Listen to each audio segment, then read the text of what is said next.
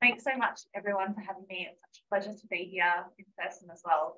Uh, yeah, so uh, as was mentioned, my name is Renee. I'm a PhD student from the University of Melbourne, Health Economics Group. And today I just would love to talk to everybody about our paediatric multi-instrument comparison study uh, and talk a little bit about the feasibility of conducting the study and collecting that health-related quality of life data, uh, which I think has some really important implications for people who want to do that in future. And then also talk a little bit about some results from the study. So uh, how acceptable some of the commonly used health-related quality of life instruments are to children and their caregivers. So just a quick overview of what I'm going to talk to you about today. Uh, and this is just to introduce you to the um, paediatric multi-instrument comparison study team. Uh, so this work is, isn't just me, it's done on behalf of an amazing group of people up there. Um, Kim Dalziel, Harriet Hiscock, Brendan Mulhern, Nancy Devlin, and some other amazing research assistants and PhD students. Uh, just to quickly mention that we're funded by a, an Australian government grant, but also by the EuroQol Research Foundation, uh, who uh, produces one of the instruments that's included in this analysis. As a little bit of background as to why we undertook this paediatric multi-instrument comparison study. um, so the generic health-related quality of life instruments uh, are primarily used in clinical trials, which I'm sure many of you are aware of. Uh, and, and that is often used to inform economic evaluation. We're also um, increasingly seeing them used uh, in, as part of routine clinical care, uh, as well as in population research uh, and registries. But in the paediatric space in particular, there's a real lack of evidence uh, around the comparative performance of how these different commonly used instruments uh, perform, especially across different cohorts of children with different conditions and different child age groups. So often we find, find that one of the instruments might be validated in one uh, age group for one condition, um, and then you know another instrument uh, is validated in another age group and condition. But it's really hard for us to tell, you know, when we compare them head to head, how they perform across that same group of children. So hence the pediatric multi-instrument comparison study. Uh, and so I suppose flowing on from, from that, that study was done to sort of address those major gaps in the literature. Uh, and what I'm hoping to talk to you today about is firstly understanding the quality of the data that we've collected, because that's really important for us um, when we're making conclusions from these data um, that it is robust and that we can rely on the data that we've collected. Um, and then also talking about um, the instrument acceptability to children and their caregivers as well.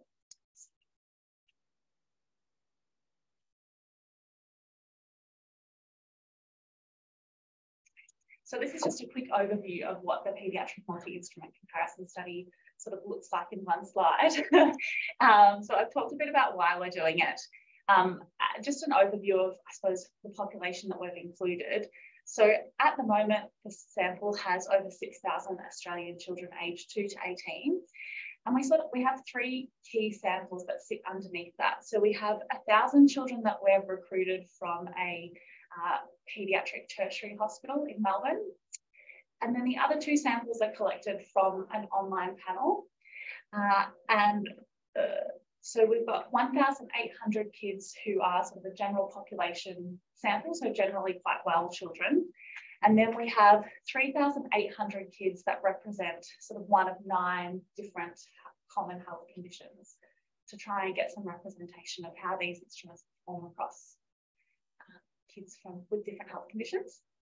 So they received two surveys, an initial survey that has all of the commonly used instruments head to head in the survey, as well as some other information about their demographics, who they are. Um, and then either four weeks later or two days later, depending on which group they're allocated to, they receive a, a shorter follow-up survey that drops off all those demographic questions that we've already asked and just ask them to repeat those health-related quality of life instruments. We did ask that children aged seven years or older self-report the health-related quality of life instruments, although acknowledging that some condition groups that we're selecting from that might not be feasible or possible, we provided caregivers with the option to select if they thought that their child was um, capable and able to answer some questions about their health and well-being. So we left that decision up to them. Um, and I suppose where we hope that this, the outcomes of this research will go, um, you know, feeding back into um, decision making for clinical trials, economic evaluation, decision making and outcomes measurement. So the aim of what the analysis I'm going to talk to you about today was firstly to talk about the feasibility of collecting that data. We learned a lot along the way, and I think it's really important to share across the research world. Um, so, so that's the first part. The second part, as I briefly touched on, was the acceptability of some of some of those commonly used instruments. So um, that includes the PEDSQL, the EQ5DY instruments, the CHU9D, the AQOL60, the PROMIS 25 and the Huey um, 2 slash so if, if, that means nothing to you, that's okay. that's okay too. They're just commonly used generic instruments. Uh, and then uh, we also really wanted to understand how some of these things compared by some important subgroups. So I'll talk to you a little bit about that along the way. So just briefly, uh, I mean, we've talked a bit about the data um, and how it's collected. This analysis is just restricted to the 5 to 18 year olds, mainly because most of the instruments under the age of 5 are, quite experimental. So really, really just wanted to focus on um, the more established instruments.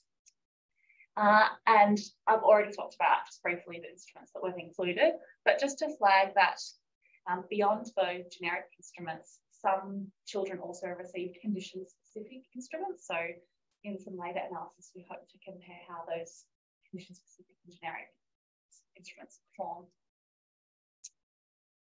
For those of you who aren't familiar with some of these instruments, this just gives you a brief rundown of uh, sort of the core components of the instruments that are included. So the PEDSQL is a 23 item, so a, a longer item generic instrument. Um, the EQ5DY is the shortest at five items. The CHU9D is nine items. The AQOL60, 20 items. The Huey, 15 items, and the PROMIS, 25 items. And you can see there's slightly different recall periods and outcome scales. So just to talk to you about the methods, I suppose in terms of the feasibility, what we mean by that and what I'm going to talk to you about is, you know, what are the types of participants that we were able to collect through this study. Um, a bit about some follow-up survey completion rates. Uh, and then I think probably the, the most important bit is the quality of the sample and, and the procedures that we used to try and uh, ensure a high quality sample. Then in terms of acceptability of the instruments to the, the children and their caregivers, uh, uh, we asked participants to self-report the difficulty they found completing each instrument. So talk to you about those results and then the time to complete each instrument. Um, and then comparing across some, some key subgroups there. So starting to think about the feasibility of collecting the paediatric health-related quality of life data, I briefly just wanted to show you sort of a bit of a participant flow. So um, 9,820 children completed the initial survey. And then in our analysis that I'll talk to you a little bit more about next, there's almost 6,000 kids. But as you can see, we dropped, we removed quite a number of children for not meeting some pre-specified um, minimum criteria. So first I'm going to talk to you about the 6,000 kids that are in the sample um, and, and, and about that. And then I'm going to talk to you about um, the, the almost 4,000 kids that were removed. So I suppose just a little bit on some survey completion rates. We don't know how many children were invited into the sample. Um, so we can't work out how many were invited and then uh, consented, um, mainly because some of our recruitment strategies included, you know, social media where, you know, people might see an ad and they're not, you know, so it's hard for us to track. But um, what we do know is how many consented and then how many completed. So, you know, we, we can see about 90% of participants who consented to take part, which was sort of pretty much the first question on the survey, completed that initial survey. And then you can see um, a fair drop off in some follow-up survey completion rates. So um, the hospital sample, you can see 80% of participants completed the follow-up survey. But then once you look at the online panel, you can see that that drops off quite a bit. So, you know, 80% compared to 33% is quite a difference. So that was a real, I suppose, feasibility finding for us that um, collecting that data in that hospital clinical setting was really hard and expensive, but really advantageous in terms of getting that follow-up response rate. Um, and I suppose, yeah, pitfall of that more affordable, efficient approach of the online panels was that we had that large drop off. Um, when we looked at, because we asked the demographics at the initial survey, we could have a look at who completed the follow up versus who didn't for that online panel. Um, and I suppose unsurprisingly, uh, we had some differences for that, that online panel population. So, you know, uh, some differences included caregiver education, remoteness, language spoken at home, and children with chronic health condition, conditions. Uh, so, lacking a bit of representation in the follow up survey from the online panel in those groups, which I think is in, an important finding and important for us to consider moving forward with how we analyse this data. So this just gives you an overview of the sample. So I spoke briefly about uh, the online panel having nine health conditions. So this table just shows you those nine health conditions. We were aiming for about 400 in each. Some, some a little bit trickier to recruit than others. So the eating disorder and epilepsy sample were a real challenge for us to recruit via the online panel. Um, so another feasibility finding, I suppose, that it has to be quite a prevalent condition to be able to obtain a, a larger sample in online panels. And then I briefly just wanted to flag that we, we divided instruments into core and additional. So core instruments included the PEDS-QL, the CHU9D and the EQ5D instruments. The reason for that is that they're the most commonly used uh, in sort of clinical trials context. Um, and so everyone received the, all those instruments. The hospital sample we felt was, and through some piloting, um, it was really important for us to keep that survey quite short. So we dropped off the additional instruments from the hospital sample. So only the online panel participants received the AID-BOL, the Huey and the PROMIS.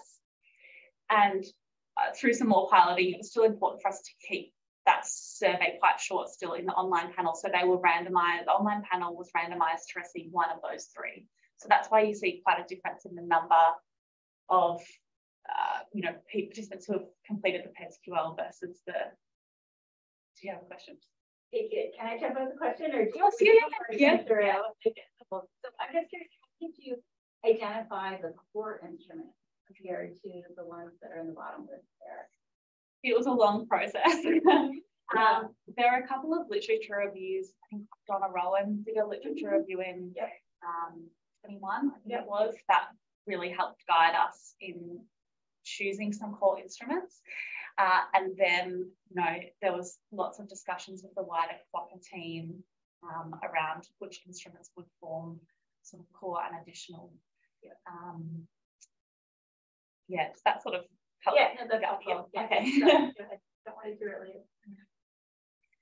Uh, so in terms of socio-demographic factors, uh, quite an even spread of sort of gender and child age across the samples, which was important for us because we wanted to be able to subgroup by age and still have a, a large enough sample to do some analysis. Um, have a fair percentage of children with a chronic health condition, but again, as you can see, 79% of the hospital sample had a chronic health condition, uh, compared to I think 48% in the con condition group from the online panel sample. So really finding children with more chronic health conditions in that hospital sample again. Caregiver education was a tricky one for us to manage. It's quite high that the sample from hospital was quite highly educated um, which is a, you can see the population norm is about 30%, and then in the hospital sample, it's 46%. Um, so the online panel sample was actually better for us in obtaining, uh, I suppose, a more rep Australian representative uh, for education and then also for single parent household. sorry.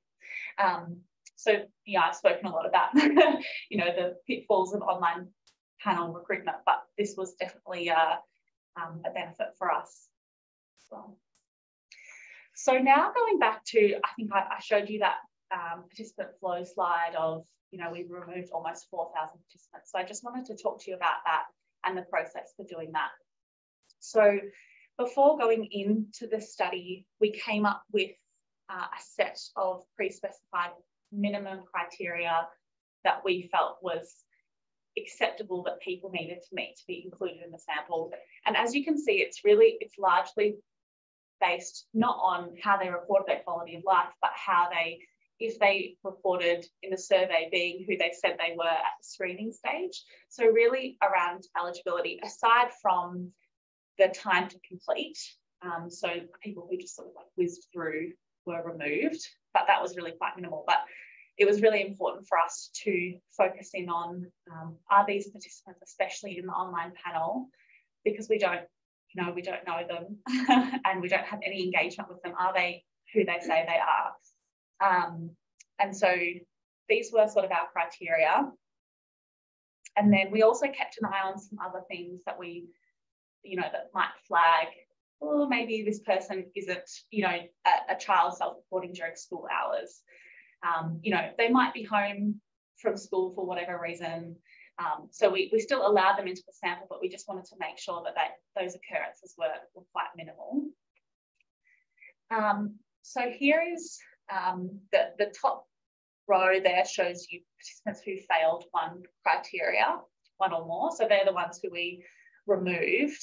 And then underneath that, you can see the reason for removal. So I'm just going to highlight, that, I think, what the key message here is that the hospital sample we only removed about 2%, and the online panel is, is largely where we where we were removing participants for not being who they said they they were, I suppose.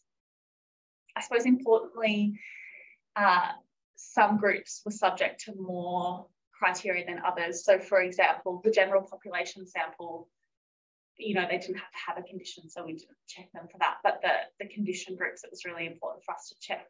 You know, they said at screening that their child had epilepsy. Do they then say that in the survey?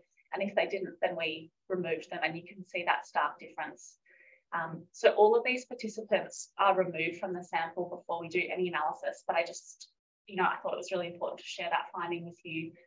Um, that when we're collecting data, especially from online panels, that rigorousness um, that's needed around, and I think especially around condition groups.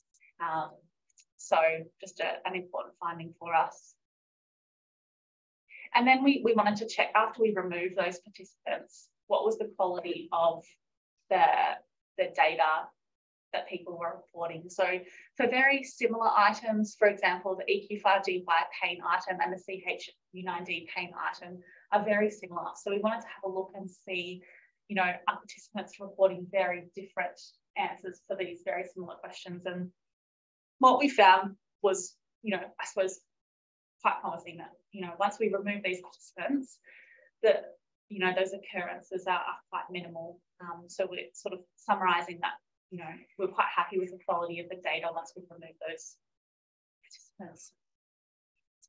So now jumping, jumping across into um, the acceptability of the instruments um, which are, if you're a user of instruments, is probably a slightly more exciting um, stage of the research than maybe the logistics of actually doing it. So I mentioned that we asked each participant to report how difficult or easy each of the instruments were to complete whilst they were completing it. Uh, the, the order of the instruments was randomized as well, so just to flag that. But as you can see, most people found most instruments sort of either somewhat or very easy to complete, which I think is a really good sign. Um, generally, the understandably probably the longer instruments um, participants are reporting as, as, as slightly more difficult to complete, uh, which I think is understandable. I think, you know, 25 items is a, is a large number of items to be completing, but yeah, I mean, not dissimilar. When, when we do compare them statistically, the EQ5DY5L does the report being the easiest of, of all of them, but you know, I think a promising result for most of the instruments there. Then we looked at time to complete. Um, again, I suppose as you would expect, the longer instruments taking a bit longer to complete. Um, a really interesting finding is that participants get faster on the second round, which, you know, I suppose reflects a learning effect. But also when we're thinking about using them in other contexts, like clinical care contexts, you know, the first time we ask a patient to complete it, they might find it tricky, but then to know that, you know, they get quicker and they probably find it easier each time to do it. Um, yeah, uh, the EQ5DY and 5L and 3L the quickest. Um, yeah, we had a quick look at, you know, time per item, which is really, it's a bit crude of a result really because, you know, this, this, this is just the, the time divided by the items, but people still have to read the intro at the start. So I suppose just, just interesting to look at, but um, yeah, helps, I suppose, guide participant, uh, future users as to, you know, if they are going to include an instrument, how long will it take people to complete? Um, and generally, the, the shorter time, usually the more acceptable.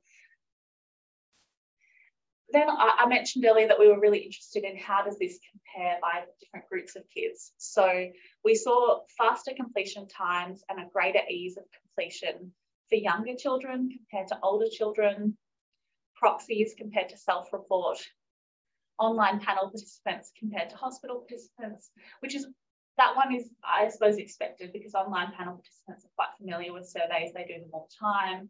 You know, you could understand that they're they they're probably quicker and find them easier to complete than people who have maybe never seen or haven't often completed surveys.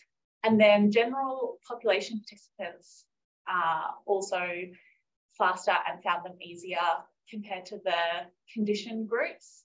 And we think that that's because the condition group sample is having to choose which of the levels, you know, they're not just sort of the general population is probably selecting or largely selecting no problem. So it's not too hard to, to think about and that's quite quick. But, you know, if you're part of a, a group that has a condition, some of those items, you know, you're having to think about, okay, well, which, you know, do I have a little bit of a problem? Is it a lot of a problem? So a bit more thinking involved. I suppose in summary, one of the main messages we wanted to get across is the importance of quality assurance and quality checking those online panel samples. Um, and really happy to talk with people more if you, you know, if you do have a, online panel um, sample planned, our process for doing that in more detail. But, you know, after we removed them, it was uh, you know, we were happy with the quality of the data. Um, so I suppose logistically, it was important for us to have that in the contract with the online panel company that we wouldn't pay for any of those illegitimate respondents because otherwise it gets quite expensive quite quickly. Um, we, we, we thought that all instruments did demonstrate acceptability to children and their caregivers, but some were easier and quicker to complete than others. Uh, and instrument times in this study were quicker than those reported by sort of guides that the different instrument developers put out. Um, it might be that that's because it's an online survey, um, or it might be that those guides are a bit more conservative. But I suppose, you know, our hope is that if you are doing an online survey, you might be able to use these times as a bit of a guide for how long it will take people to complete.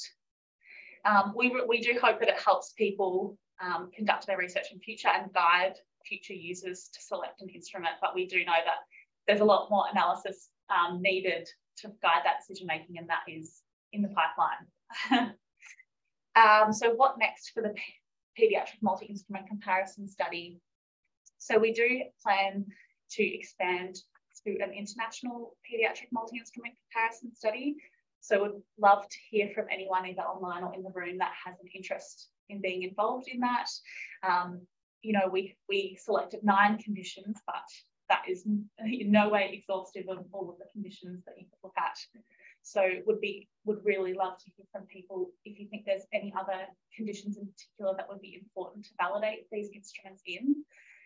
Um, what else? We've got um, we obviously have to do a much wider range of psychometric tests to compare these generic instruments. So we've got that planned, comparing the generic and the condition specific um, across those different child ages and health groups, and then some other detailed tests.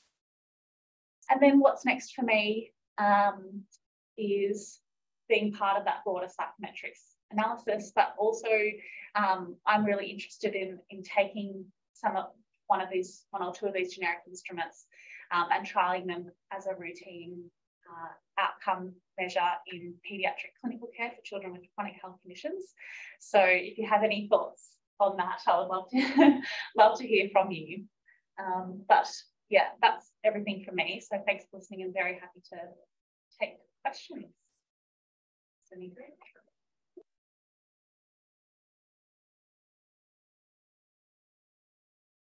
So jump in. Um, first of all, excellent presentation. Thanks so much for sharing your work as through this. It's just tremendous all the work that COPE has been doing, especially this um, multi-instrument comparison. Um, I'm a little, I'm so curious to hear a little bit more about the timing of the um, the results, the timing of those various instruments, because the EuroQol group um, will typically say, I think that to budget about five minutes for their instrument. And so um, I'm curious to hear if there are other you know, timing recommendations for the other instruments and how your results compare to those, and if there were any um, parts such as introductory materials of the the QID that you didn't have to include here that someone else might have to include that wasn't part of that timing.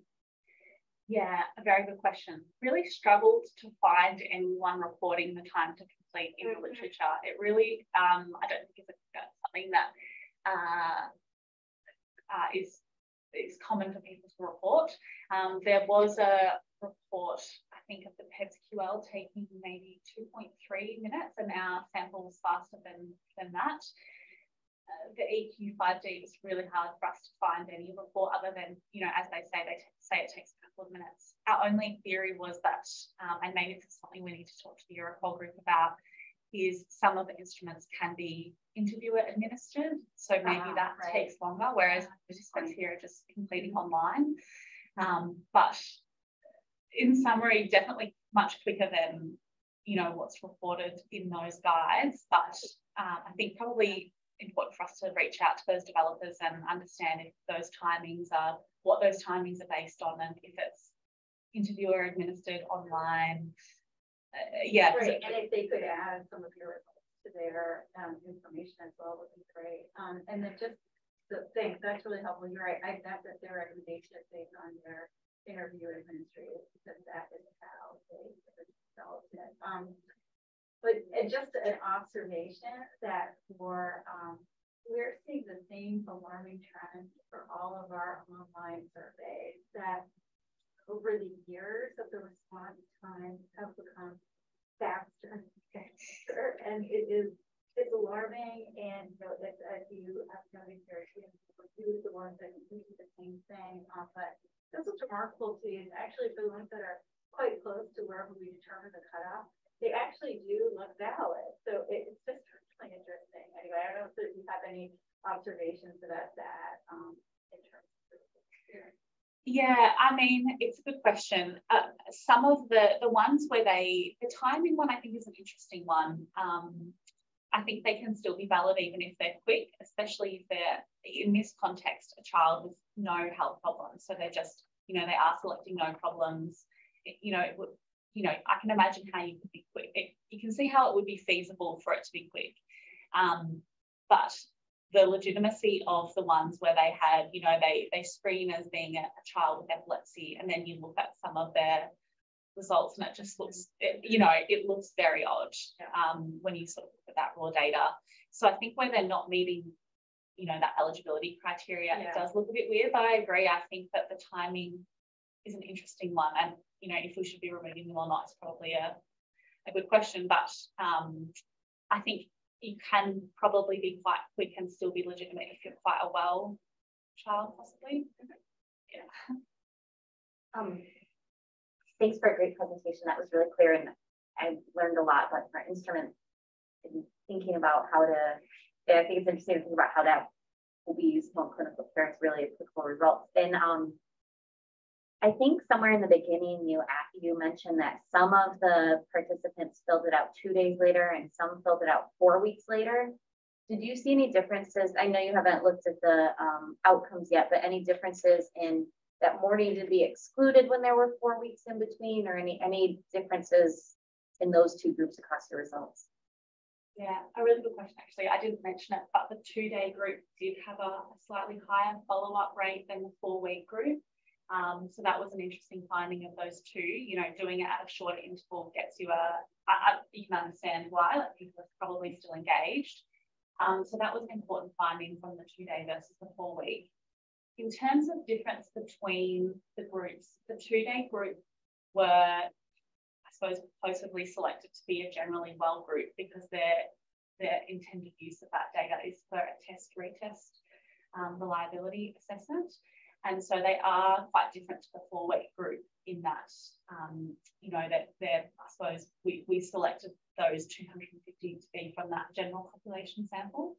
Um, so they are different, but a little on purpose. that answer. Yeah, thank you. Dr. Sandberg has his hand raised. Thank, thank you very much. Uh, uh, so I have a, a question uh, about patient-reported outcomes, the time frame. Uh, typically, uh, these were designed for clinical trials where you'd like to see changes, say when you introduce a medication or, or some other uh, regimen, and so that you could see changes over time. However, lots of uh, chronic medical conditions are episodic. And um, so I wonder how you, you've thought about that. Uh, and second question, um, in your final slide, you have thoughts about introducing measures into ongoing care. So I've been doing that for many, many years now. And I think I would not use these generic health related quality of life measures at all because very often they don't um, lead to directly actionable information. So I think whatever you're going to use in a clinic as part of ongoing care, which I think is, is really valuable. Say, if we talk about chronic kids, say if it if they come into clinic three times a year four times a year uh, i would introduce these things like once a year. Uh, i would not be too worried about the length of the protocol because it's part of their annual visit. But what's key in all of this using these measures because families get burnt out if they're not immediately interpreted and feedback given, uh, like my experience, I go to the doctor, I fill out a lot of forms electronically, nobody asks me anything about them. You know, so I think lots of people have that experience. So I, I encourage you to, to use measures that one, take into account episodes. So not only think about the past week, uh, and to ensure that sort of the, the criterion for entry into the protocol is that they're immediately actionable. Thank you. Yeah, thank, thank you, David. That's I think that's really useful for for us to think about, and I think um, yeah, you're absolutely correct. They need to be useful, right? There's no point in doing it if they're not going to be used. Um, but the next stage of the work is, is around uh, some, some qualitative work with um, clinicians and families around, you know, what they would like to do and, and you know, if, if this is important to them and how they would want to uh, receive the information uh, and how to integrate it into, into clinical care. So I think I suppose in, in answering that second part of your question, I think, you know, your perspective is, is one that is really important for us to consider. And uh, I suppose in a way, hoping to capture those perspectives in that next phase of work around what's, you know, that clinician perspective and experience. Um, and the episodic nature is absolutely correct because some of these recall periods are today. So, you know, as as you say, if a child has an, an episodic condition and we ask them about their quality of life today, that might be problematic. And I think that's something for us to consider. I suppose going back to the first part of your question, which I think is really around responsive, how responsive the generic instruments are to changes in health among children with chronic episodic chronic health conditions. Have I understood that correctly? It's more on what we do with that information. Yeah, I think it's important for us to consider, and I, I think in consultation with families and clinicians, hoping to, I suppose, flesh that out a bit more. Um, but yeah, we can't just ask the question and expect the clinician just to um, know what to do. We need to have pathways for action. So, um, so one, one thing I would add, uh, you know, I think Australia is probably better, at least in theory, in thinking about health care as being not only the biomedical, but also the psychosocial. I think whenever we include a psychosocial piece, the first thing we add is, well, what is the burden? Is it going to slow us down? Which right away minimizes or discounts the importance of looking at well being and quality of life of the child with a chronic condition. So, you know, I wouldn't, I wouldn't sort of have uh, the the the criteria. How long does it take? maybe for population-based studies, I understand that. But for, for the patients themselves, I think they are ready, uh, in my experience doing this for more than 30 years, they are ready to, to complete forms that take them 30 minutes, 35 minutes, 40 minutes, providing that they speak to the issues that they encounter and that it's used as part of ongoing care. Yeah, thanks, David. And I think that's that's really important. And I think what you touched on is a, a I suppose, a broader. Uh, sorry, hoping that's Alviva. Um, I, I think uh, broadening our our healthcare for children with chronic health conditions in Australia outside of just that biomedical framework is, is a, a, key component of why we're really interested in doing this. When we spoke with families, that's, you know, their healthcare experience in that outpatient, that specialised outpatient setting was limited by the fact that they they felt that that care was just focused on that biomedical aspect and they really wanted that broader psychosocial care and our hope was that in in introducing a measure that might engage some of those broader aspects um, that we might might be able to think about that more but i think that's a that's still yet to be determined if that is actually true or not but I'd love to maybe reach out to you. And I, I think you've obviously got a lot, lot, of experience in this area, and I think I've learned a lot from you. So I'd welcome that.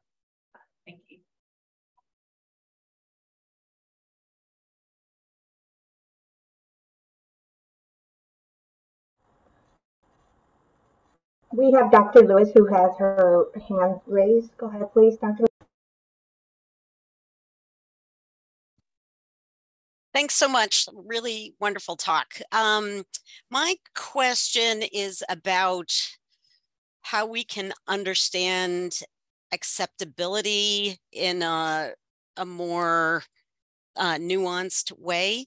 Um, and so I'm think so I'm a specialist, a, a, pulmonologist, and I do a lot of work with asthma. And I've used a, a validated quality of life questionnaire in research contexts, but in different populations than it was originally validated in. So um, the, the most commonly used asthma quality of life questionnaire is uh, was originally published by Juniper. It was validated in a Canadian population. There's been iterations since, but I've been using it in Detroit, which is a, a, a very different kind of population. Uh, the other context would be an asthma control test, which is really more going towards symptom management, but we use that routinely in everyday practice. Um, and in both cases, you get feedback from people taking the questionnaire that this is a weird question or, or these answer categories don't make sense. And they they sort of stumble with how to answer the question because it just doesn't it's not phrased well in a way that's meaningful to them. So i'm just wondering as you're specifically looking at comparing questionnaires either in a you know single country setting or as you think about expanding internationally is there any way to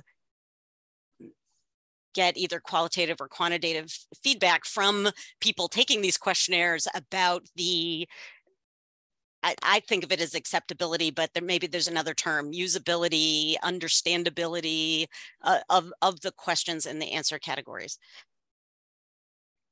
Yeah, a, a fantastic question. I think a, a really important thing for us to explore. So I think we can explore the quantitative acceptability in a, I think, a restricted way around, you know, we have a group of children with asthma and we ask them to fill out an asthma questionnaire and then we ask them to fill out the generic. So we could compare in those groups, you know, that group of children, do they prefer, you know, do they find it easier to fill out the asthma questionnaire than they do the generic questionnaire? But that has limitations, you know, whether they find it easy is a different question slightly to, you know, if they, uh, I suppose I think what you're referring to is like the face validity of it. Do they, is it understandable to them? Does it cover the questions that they think it should? And I think asking those questions in a research survey versus patients in a, in a clinical setting is also a slightly different question. And I, I do hope that we will be able to do some qualitative work with families uh, before and after we sort of do this small trial to ask them those sorts of questions you know like did did you know did they understand the questions? Did they feel that it was useful? What did they, you know sort of really exploring with them i think doing that qualitatively is is probably the the only way to really get at at at that to answer that question. That I, I think yeah. Yeah i would just encourage you to do that because i think that's the and and again it sound it seemed like the population that you were surveying in the data that you presented to us had some um, variability in background uh, thinking about your non-english as the first language um, question and, and and look and analyzing your data looking at that subgroup to see if there's differences there because I, I think from a um, sort of extending on what Dr. Sandberg was saying, like when you think about actually utilizing these questionnaires, um, the practical acceptance of, of the questionnaire, it also, you know, it's linked to how easy is it? How understandable is it? How fast was it? But also what um, Dr. Sandberg was saying is what do you get out of it, right? Like is, do I get the sense that my um, in the clinical setting at least, you know, is the clinician going to use this information or not, or am I just wasting my time filling it out? So uh, all, all of the above. Thank you. A great point. Yeah, well, hopefully, absolutely. My apologies for stepping out, everyone. My child hit, ran into a pool in school and lost a tooth, so there's a little, little, little chaos there. Um, thank you, Renee, for a great talk. Um, we, I, I think we're about at the end. Is there anything in the chat we need to address?